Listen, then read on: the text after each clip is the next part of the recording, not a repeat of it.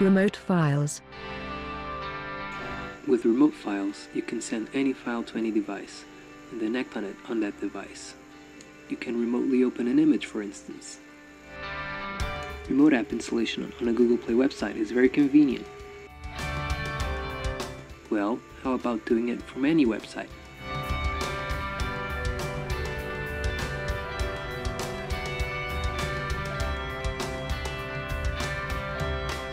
Or from another Android device.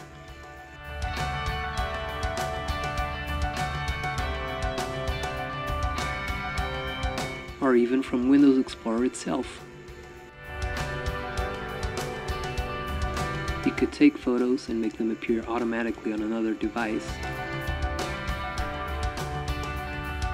Or you could request that photo remotely and have it appear on your device. Remote Files works very fast using the new AutoRemote Wi-Fi service, which allows you to send messages and files through your Wi-Fi network. Files can also be transferred to any other network, but will take a bit more to arrive. Offline communication. With offline communication, you can send messages without the need for internet access. In addition to sending messages through Wi-Fi, you can now also send messages through Bluetooth. This way messages are delivered directly from one device to the other. Imagine being in your car and automating your offline tablet with voice commands on your phone. Chrome notifications.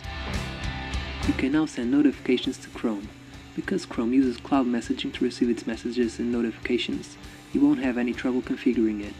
You can select images from your Android device to use as notification icon and picture and will show up in the Chrome notification.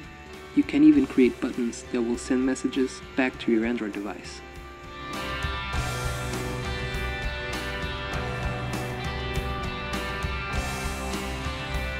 This lets you create a remote notification system, for example, where you receive all your Android notifications in Chrome and can remotely dismiss them from your Android device. Chrome redirection. You can now redirect all messages received in Chrome to EventGhost. This lets you take advantage of Google Cloud Messages for Chrome and lets you receive messages in EventGhost from any network without the need to fiddle with your router settings. It just works. Remote registration. You can now easily pair your devices with remote registration. You can send or request registrations to and from another device.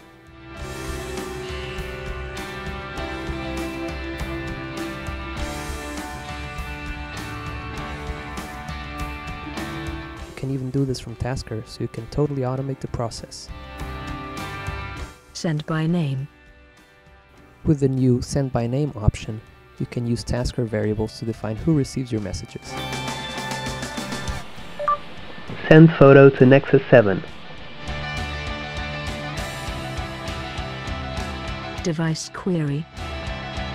You can ask AutoRemote what devices you have on your device list, so you can create dynamic menus with Tasker scenes, for example.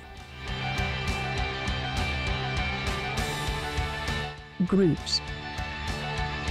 Groups allow you to message multiple devices at the same time. Simply add your devices to a group and then send a message to it. The message will be delivered to all the added devices.